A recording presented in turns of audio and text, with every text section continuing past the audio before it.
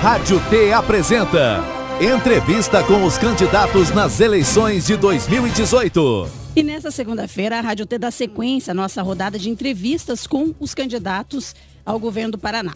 Lembrando que as entrevistas terão a mesma duração para todos os candidatos, 25 minutos, e ao final todos terão 30 segundos para responder a seguinte pergunta: Como governar o Paraná de forma eficiente? Os temas da entrevista serão plano de governo, envolvendo as principais áreas, finanças e segurança pública, saúde e educação. E também vamos falar sobre corrupção. O nosso convidado de hoje é o candidato ao governo do Paraná, o doutor Rosinha, do PT. O doutor Rosinha é médico, formado pela PUC do Paraná, é um dos fundadores do Partido dos Trabalhadores, o PT, e da CUT, Central Única dos Trabalhadores.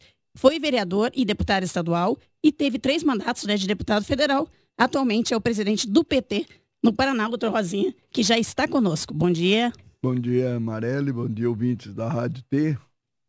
Eu agradeço já, né? E deixo os estúdios da Rádio T livres para o senhor. Seja muito bem-vindo. Obrigado. Bom, doutor Rosinha, nós começamos falando a respeito é, de uma situação envolvendo, é claro, a esfera nacional. Até porque não tem como falar é, do governo do Paraná sem é, ligar alguns pontos ocorrendo envolvendo o PT. Nós tivemos nesse final de semana a decisão é, do, do Supremo Tribunal Federal de que o Lula não poderá ser candidato do PT à presidência, visto que a lei do ficha limpa proíbe né, que o Lula seja candidato por conta da condenação dele. E a gente nota que o discurso do senhor como candidato tem gerado muito em torno dessa questão do Lula. Muda agora com essa decisão do Tribunal Superior Eleitoral?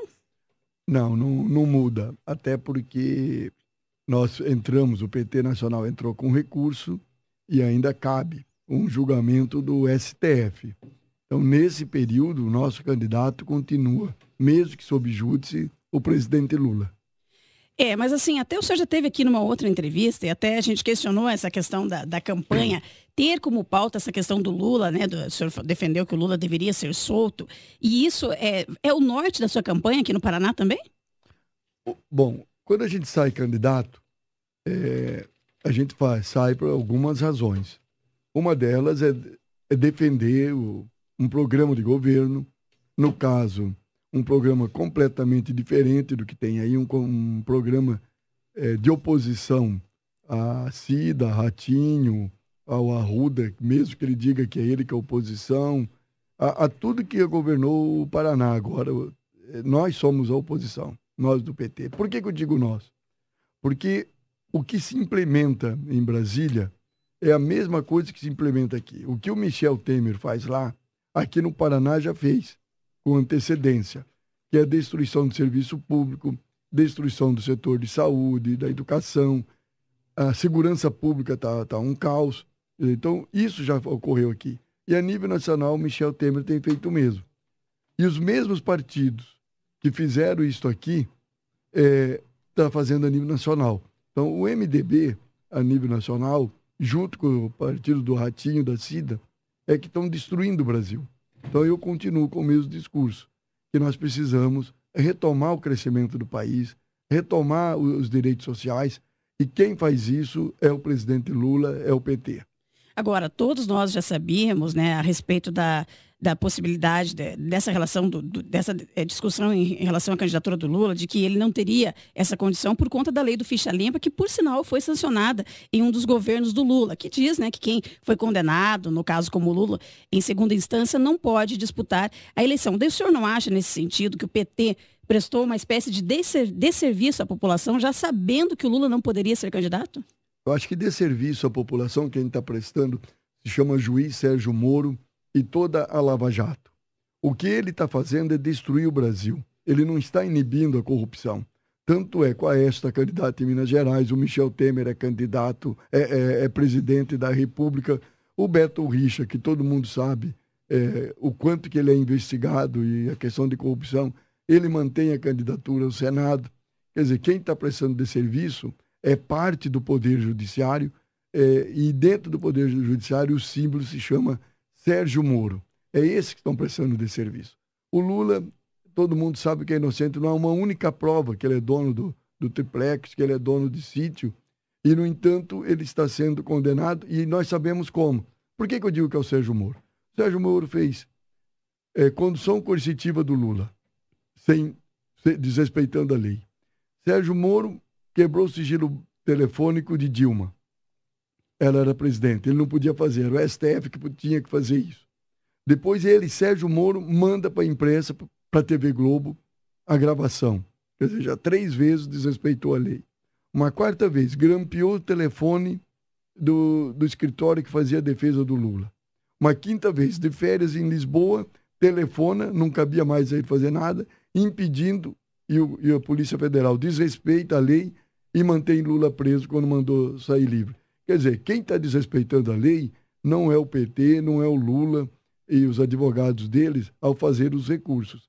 Quem desrespeita o Brasil e o PT e dá mau exemplo é a Operação Nova Jato, representada no caso é, pelo Sérgio Moro, que outro dia ainda veio aí descaradamente pedindo desculpas. Volta e meia ele pede desculpa como ele pediu lá atrás, quando ele comete essas irregularidades. Se no Brasil tivesse justiça mesmo, Sérgio Moro já não era mais juiz.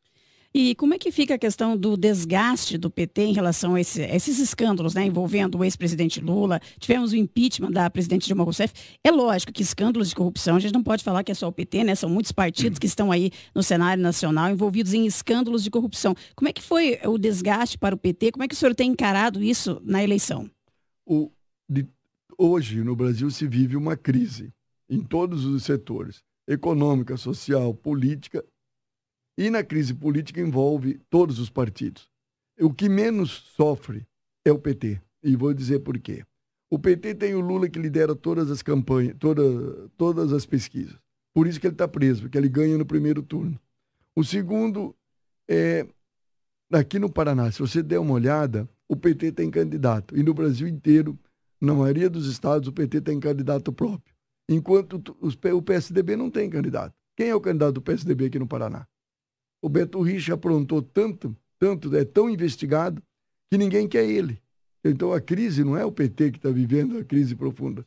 Quem está vivendo a crise profunda são, são outros partidos. O PT está superando a crise política que existe no país. Terceiro é o partido que mais ganha filiados hoje.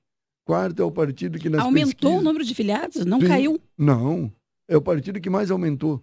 Filia gente todos os dias. No, no, no, aqui no Paraná e no Brasil inteiro. É o partido que, que tem a maior popularidade como partido preferência. Aqui no Paraná, cerca de 17% prefere o PT.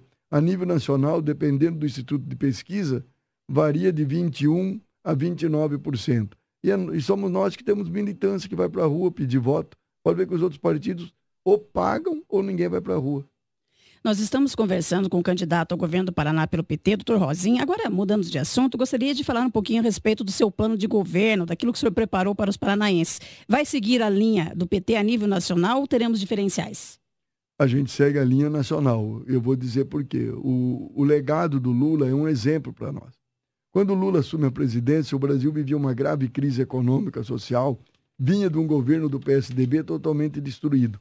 Tinha somente 38 bilhões de reais, 38 bilhões de dólares de reservas e dívida com o Fundo Monetário Internacional de 15 bilhões. Nós pagamos e hoje o Brasil tem 360 bilhões de reservas para ver que nós governamos bem.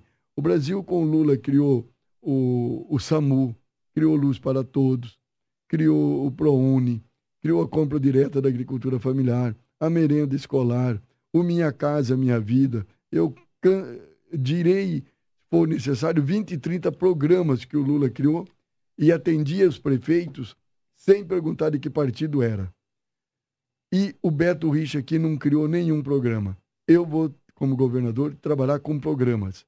E não vou ficar perguntando aos, aos, aos prefeitos qual é o seu partido para atender, igual faz hoje. Hoje, ou você diz que é tal deputado que manda em você você obedece tal deputado para os prefeitos, ou o prefeito tem que comer na mão do governador. Então eu vou aplicar o mesmo modelo, vou governar com programas estaduais, sem ter que, uh, que, que prefeito mudar de partido para atender. Partido, prefeito nenhum vai ser capacho de deputado ou capacho de, de governador. E não vou perguntar para o prefeito, ah, qual é o, o deputado que te acompanha? Não.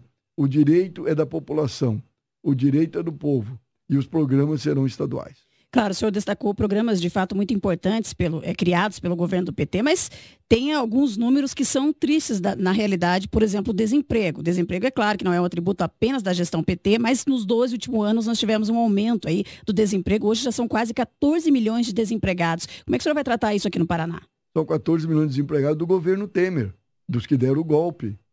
Do, do jeito da Cida governar, do Beto governar, que eles apoiaram nacionalmente, do Ratinho do jeito do João Arruda apoiar o governo Temer. Quando a, Dilma termina o primeiro mandato em 2014, ela termina o primeiro mandato com menos de 5% de desemprego. E depois houve o boicote, é, de, como o boicote violento do Congresso Nacional. Ela mandava projetos para lá, eles invertiam e aprovavam o, justamente o contrário. Então, o desemprego, o desalento, que tem mais de 27 milhões de pessoas em desalento hoje no Brasil, é tudo resultado do golpe. Veja o preço do gás de cozinha, todo mundo veja o preço que ele pagava com Lula, com Dilma e quanto paga hoje com Michel Temer. Então as pessoas têm que comparar. A geração de emprego em qualquer estado passa hoje pela capacidade de desenvolvimento do estado. E não há como um estado desenvolver-se sozinho se a nível nacional ele não tiver um governo aliado que faça esse desenvolvimento. E esse governo para fazer o desenvolvimento é Lula com o PT. Não, não tem outro esse pessoal que tem nenhum vai fazer o desenvolvimento. E aqui no estado do Paraná é a mesma coisa. Como é que eu vou fazer? É lógico, eu tenho que regionalizar o estado, de, definir regiões e cada região eu elaborar um programa, um planejamento de desenvolvimento é, diferenciado. Eu pretendo, por exemplo, em regiões de agricultura é, familiar, trabalhar com associativismo e cooperativismo é, com, pequenos, é, com os pequenos produtores, agregando os valores é, para gerar emprego em outros locais, hoje se vende mais serviços do que se vende mais é, produtos. É, e para vender serviços é necessário que você tenha internet. Todos os 399 municípios têm cabo de fibra ótica. Eu tenho que fazer chegar e farei chegar é, na última milha, entrando na cidade, até porque a internet permite ao pequeno é, vender pela internet, permite as empresas se organizarem é, para vender serviços e fazer o desenvolvimento regional de uma maneira planejada. Hoje, as grandes empresas, como por exemplo a BRF, essas grandes empresas acabam fechando, como fechou em Francisco Beltrão. Então, eu vou estimular a micro e pequena empresa no desenvolvimento delas para geração de emprego. 6h42, só quero lembrar os nossos ouvintes que você pode assistir também essa entrevista na nossa página do Facebook da Rede T, da Rádio T. Estamos ao vivo pelo Facebook também.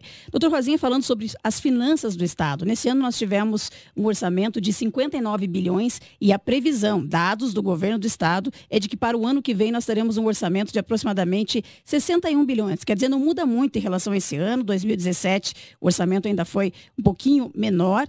E eu pergunto para o senhor, dentro desse orçamento, de 61 bilhões para o ano que vem, que é um orçamento para custeio da máquina, pagamento de servidores, enfim, custeio de fato da máquina. Como é que o senhor pretende investir no estado do Paraná? Ou o senhor acha que os números não são esses? Não, o, os números do orçamento são, é, são números assim preocupantes, né, porque está praticamente todo comprometido o orçamento. Há, há uma margem estreitíssima de investimentos. É, é quase que que zero essa margem, né? Porque investimentos exige bilhões, não se faz investimento em infraestrutura com milhões. E as rodovias do nosso estado estão destruídas, principalmente as estaduais. Faltam ferrovias. Então, há um, um orçamento limitado que só será possível administrar esse, orçamento, essa, esse investimento em infraestrutura através de, de concessões é, do serviço público. Agora, respondendo à tua pergunta em si, é, eu, como governador, eu vou rever todos os contratos. Seja os contratos é, de consultoria, é, os contratos de, de, construções ou de compra de produtos, é, todos eles serão revistos. É, numa revisão de contrato, eu creio, e é possível, né, principalmente rompendo as consultorias com o setor privado, quando o contrato permitir, e contratando a consultoria dos, das universidades públicas, é, eu consigo, pela análise feita pela minha assessoria, uma economia de um bilhão de, de reais no primeiro ano, que é onde se vai buscar é, recursos para fazer com que a máquina atenda a área social. E quais áreas o senhor acredita que são necessários mais investimentos aqui no Paraná? É, saúde, segurança pública e educação. Não estou falando pela ordem de prioridade, mas pela a ordem de necessidade é, mais presente. Essas, essas três áreas. É de um modo geral, hoje, quando a gente pergunta para a população qual é a área que mais preocupa, por muitos anos a resposta era saúde. Não que não esteja precisando de investimentos, mas hoje a população fala muito por segurança pública, né? Que precisam de investimentos na área de segurança pública. Eu dei uma acompanhada no seu plano de governo e percebi que o senhor fala muito em dar estrutura para aquilo que já existe, né? Para as, as forças policiais, para os órgãos né, de, de segurança pública do Estado. Nesse sentido, eu posso entender, então, que o senhor não vai fazer grandes mudanças na segurança pública, mas vai tentar arrumar o que está aí? Seria mais ou menos isso? Terá grandes mudanças, sim. A primeira delas, quando eu disse que nós faremos é, a fibra ótica chamada Última Milha. Os 399 municípios têm, como eu disse, fibra ótica. É, nós vamos integrar o sistema de segurança pública. Fazer integração pela internet com polícia inteligente. Sem polícia inteligente não consegue é, investigar absolutamente nada. E na polícia inteligente, a primeira coisa a ser recomposta mesmo é a polícia científica. Hoje, só para se ter uma ideia, nós temos mais de 15 mil smartphones para ser analisado por crimes cometidos e mais de 5 mil computadores a ser analisados e tem nove peritos. Ou seja, jamais vai concluir a análise disso. Então, é a polícia científica que tem que ser investigada. Aqui mesmo em Ponta Grossa, é, que tem que é uma área muito grande. Se acontece um acidente em, por exemplo, em, aqui em, em Palmeira, o perito tem que sair de Ponta Grossa até Palmeira. E vai que, de repente, ele está indo para lá e acontece um acidente em Sangés, o mesmo perito tem que atender lá e depois aqui. Quer dizer, por isso que a gente ouve dizer que aqui na região, corpos chegam a ficar na rua durante oito horas, seis horas, porque não tem corpo técnico, não tem peritão. Então, repetindo, prioridade, recompor a polícia científica é a primeira. A, segu é, a segunda prioridade, ou juntos, é fazer a integração de todo o sistema pela via internet. E terceiro, é, prioridade é fazer com que as polícias se conversem, porque tendo internet, o banco de dados que hoje é só da Polícia Militar será um banco de, de dados único. A Polícia Militar tem um, a Polícia Civil tem outro banco de dados em separado.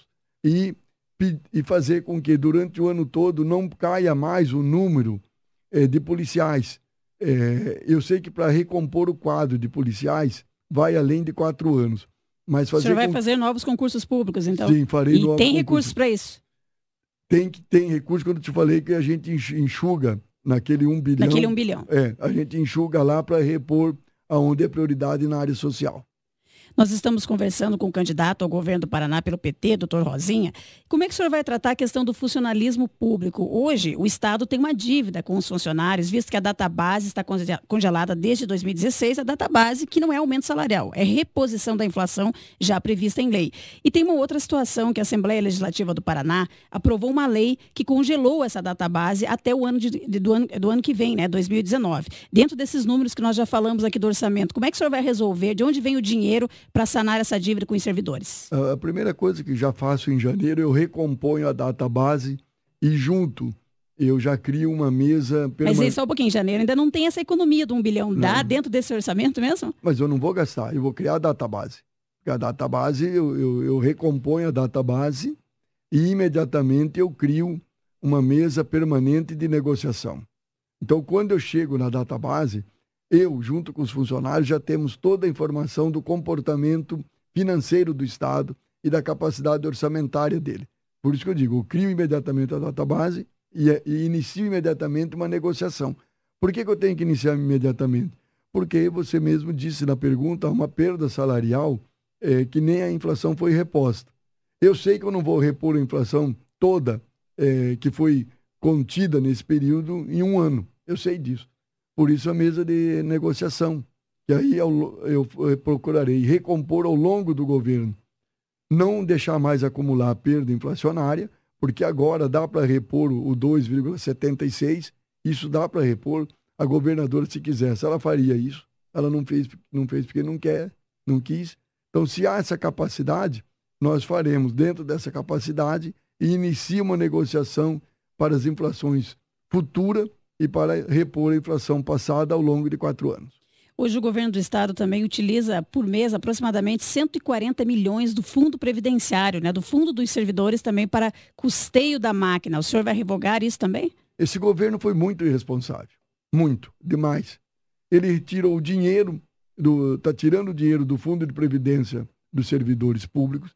Ele antecipou o ICMS, dando desconto de mais da metade da antecipação, e, no entanto, e desviava dinheiro, quadro negro e tudo. Né? O Beto Richa fazendo isso, seu secretário Ratinho calado, assistindo isso, e agora vem com o discurso que vai mudar. A Cida, vice, sempre calada, em silêncio, agora vem com o discurso que vai mudar. O que, que eu tenho que fazer? Mesma coisa, eu tenho que recompor esse fundo de previdência. E se eu disser aqui que eu vou recompor no primeiro ano, eu estaria, estarei mentindo. Então, o que, que eu tenho que fazer? Eu tenho que criar um processo novamente de negociação com os servidores públicos, que o fundo é deles, e criar um plano de reposição desse fundo, não retirando mais recursos dali. Porque se eu continuar retirando recursos dali e estourando o orçamento, como os três que eu acabei de citar estão fazendo, é, nós vamos chegar num dado momento que o Paraná não vai ser mais governado por ninguém, porque não vai ter mais capacidade financeira e orçamentária. Outro assunto que, infelizmente, é discutido às vésperas da eleição é o pedágio, principalmente as tarifas do pedágio. Temos exemplos no Paraná, tivemos o candidato ao governo do estado, hoje senador, Roberto Requião, que tinha aquela clássica frase, né? O acaba, é, o baixa, o acaba, e bem no fim o pedágio não acabou e continuou mais caro. É, e esse assunto veio a ser discutido novamente agora na eleição, até porque os contratos se encerram no ano de 2021. Qual é o modelo que o senhor defende de pedágio? É, primeira coisa, quando foi criado esse modelo de pedágio, eu era deputado estadual. Eu votei contra. Eu, não, eu fui contra isso daí.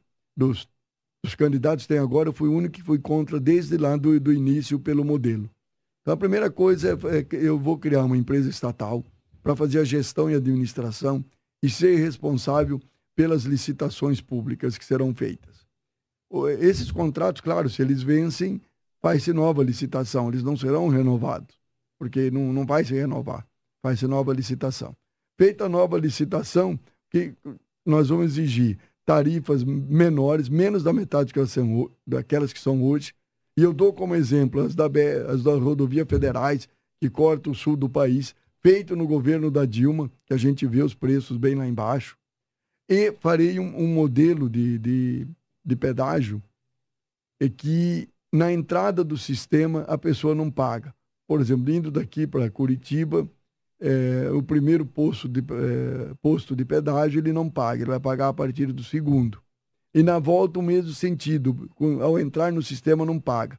Isso favorece principalmente o desenvolvimento da região. Os, os municípios vizinhos que têm pedágio não vão ser impedidos de relações comerciais, de serviços para estudantes, ou seja, vai ficar mais barato e vai facilitar o desenvolvimento regional.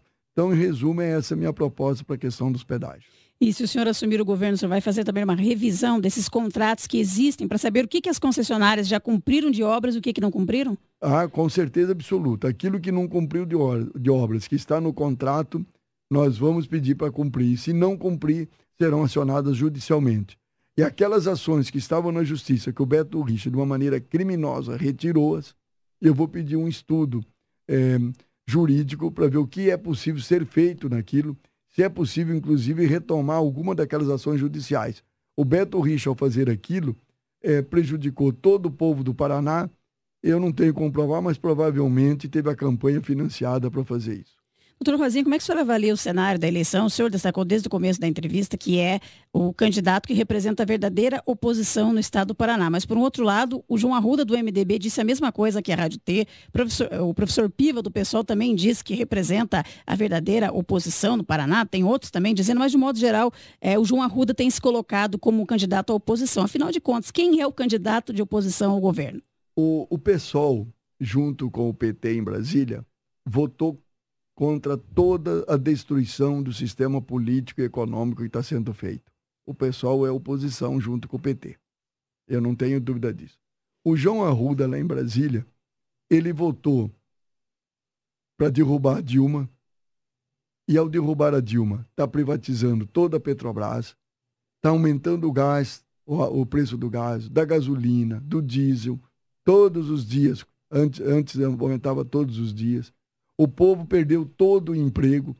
Além de perder o emprego, fez-se a reforma trabalhista, aonde ele perde todos os seus, seus direitos. Quer dizer, o João Arruda não é oposição a ninguém.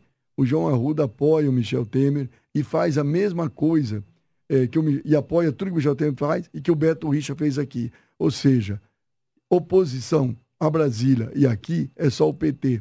E oposição aqui é, é só no discurso, não é na prática. Doutor Rosinha, para encerrar agora, o senhor tem 30 segundos para responder essa seguinte pergunta. Como governar o Paraná de forma eficiente? É, ouvindo o povo, não ficando solitário, e eu tenho que planejar o Paraná, que nunca foi planejado, para executar obras durante os meus quatro anos de governo e fazer um planejamento a longo prazo de 20 e 30 anos. E esse planejamento ser feito usando técnicos e governar o Paraná, ouvindo as universidades, ouvindo os prefeitos e ouvindo o povo de uma maneira geral, e não governar solitariamente. Nós conversamos com o candidato do PT ao governo do Paraná, o doutor Rosinha. Eu gostaria de agradecer a sua participação aqui no nosso T-News e um bom dia. Igualmente, bom dia a todos. Rádio T, eleições 2018. Da sua decisão, nós fazemos a informação.